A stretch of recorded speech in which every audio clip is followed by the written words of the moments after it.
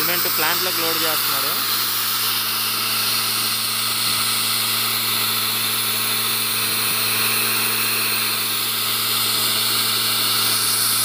ఇక్కడ రెండు పైపులు ఉన్నాయి చూసారా?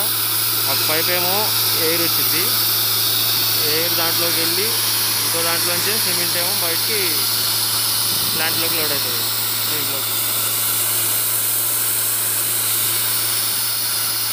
సిమెంట్ బల్కర్ అంటారు. ఫార్టీ ఫైవ్ టన్స్ సిమెంట్ వచ్చింది. ఇప్పుడు దాన్ని దాంట్లోకి దింపుతున్నాం.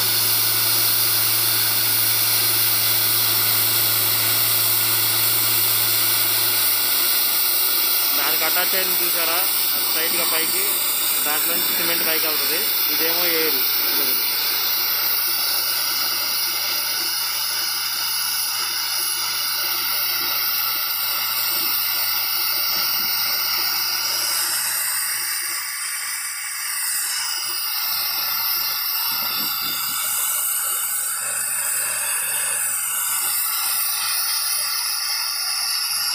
ఈ మొత్తం అయిపోయేసరికి ఒక గంట పట్టచ్చు.